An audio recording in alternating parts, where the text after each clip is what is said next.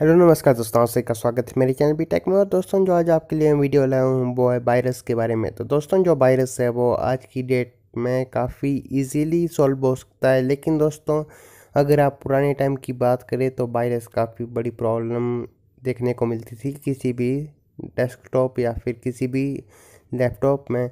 और दोस्तों, उसके लिए आपको महँगे महँगे एंटीवायरस का यूज़ करना पड़ता था। तो दोस्तों, आज की डेट में ऐसा माना जाता है, कई लोग ऐसी मिथ रखते हैं कि जो स्मार्टफ़ोन में भी मतलब कि एंटीवायरस डालना ज़रूरी है या फिर एंटीवायरस आज की डेट में काफ़ी इम्पोर्टेंट है। तो दोस्तों, ऐसी बात नहीं है। अगर आप स्मार्टफ़ोन यूज़ करते तो आप जो भी मतलब कि एप्लीकेशन डाउनलोड करते हैं, वो आप ऐप स्टोर से करते हैं या फिर आप प्ले स्टोर से करते हैं। तो दोस्तों, जो ऐप स्टोर और प्ले स्टोर दोनों ही मतलब कि काफ़ी सिक्योर है और वायरस आने का उसमें चांस बहुत बहुत बहुत ही कम है। क्योंकि दोस्तों, जो भी एप्लीकेशन उसके अंदर होती है, उसको मतलब कि कई टाइप के टेस्ट पूरे करने होते हैं। उसके बाद ही उसको परमिशन मिलती है इन प्लेटफॉर्म पे आने की। और दोस्तों, वो इस टाइप में फेल हो जाती है तो उसको मतलब कि रिजेक्ट किया जाता है। तो दोस्तों, इस तरह से आप मतलब कि मान सकते हो कि प्ले स्टोर से आपके वहाँ कभी भी फ़ोन में लगभग कभी भी आपके वहाँ वायरस नहीं आ सकता।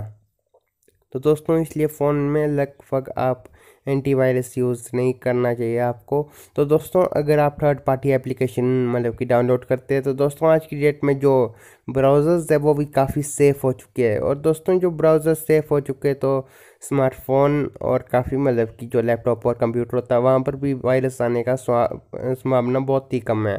तो दोस्तों, क्योंकि वहाँ पर आपसे परमिशन मांगी जाती है और आपको पहले ही वार्निंग दी जाती है कि यहाँ से आपको वायरस आएगा और यहाँ से आपको वायरस नहीं आएगा तो दोस्तों, इसलिए आपको किसी भी टाइप की एप्लीकेशन या फिर किसी भी टाइप के कोई एंटीवायरस का यूज़ करना काफ़ी मतलब कि बहुत ही रेयर कर सकते हैं आप यूज़ लेकिन दोस्तों safety is number one priority इसलिए आपको लगभग कंप्यूटर और जो लैपटॉप है, उसमें थोड़ी सी प्रोटेक्शन मतलब की रखनी चाहिए।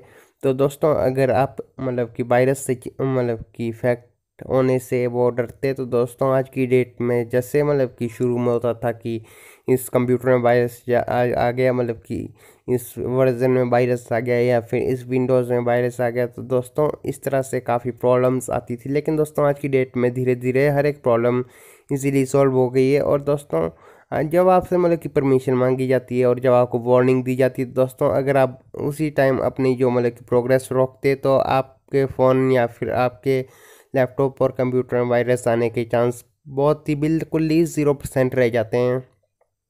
अगर दोस्तों थोड़े बहुत वायरस आ भी जाए तो प्रॉब्लम मतलब कि अगर आपके मतलब कि कंप्यूटर और लैपटॉप में थोड़े बहुत वायरस आ जाए तो प्रॉब्लम उतनी नहीं करेंगे। क्योंकि दोस्तों आज की डेट में जो एंटीवायरस है वो भी काफ़ी सिक्योर हो चुका है। तो दोस्तों लैपटॉप और कंप्यूटर में थोड़ा मतलब कि आप एंटीवायरस डाल सकते हैं, लेकिन दोस्तों फ़ोन में उसकी बिल्कुल भी ज़रूरत नहीं है। दोस्तों, जो वायरस होता है, अगर आप उससे थोड़ा और सेफ़ रहना चाहते हैं तो दोस्तों, जो थर्ड पार्टी एप्लीकेशंस है, जो बिल्कुल भी ट्रस्टेड एप्लीकेशंस नहीं है तो दोस्तों, उसको डाउनलोड करने से थोड़ा बचना चाहिए आपको। जैसे कि दोस्तों, कई ऐसी एप्लीकेशंस होती है, जो मतलब कि आपके फ़ोन में वायरस डाल सकती है, और जो मतलब कि वार्निंग से एस्केप हो सकती है। तो दोस्तों, इस तरह से आपके फ़ोन में वायरस आ जाए और दोस्तों, कई ऐसी एप्लीकेशन होती है जो मतलब कि शुरू में कुछ वायरस नहीं है उसमें, लेकिन दोस्तों, बाद में कुछ प्रॉब्लम हो गई उसमें और वायरस आ जाए। तो दोस्तों, इस तरह से भी आपके फ़ोन में वायरस आ सकता है। जैसे कि आप उस एप्लीकेशन को अपडेट करें तो उसमें वायरस आ जाए।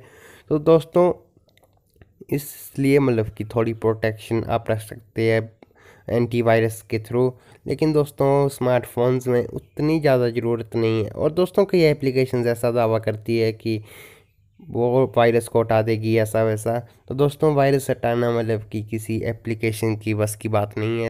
तो दोस्तों, आपको इस टाइप की एप्लीकेशन से जितना दूर आप रह सकते हैं तो आप उतना ही दूर रहें। तो दोस्तों, इस वीडियो में फ़िलहाल इतना ही। आप देखते रहे मेरा चैनल बी टेक मैं आपके लिए ऐसी वीडियोस लाता रहूँगा। दोस्तों, अगर आपको वीडियो पसंद आती तो वीडियो को लाइक, शेयर और कमेंट कर देना और चैनल को सब्सक्राइब कर देना। जय हिंद, जय भारत दोस्तों।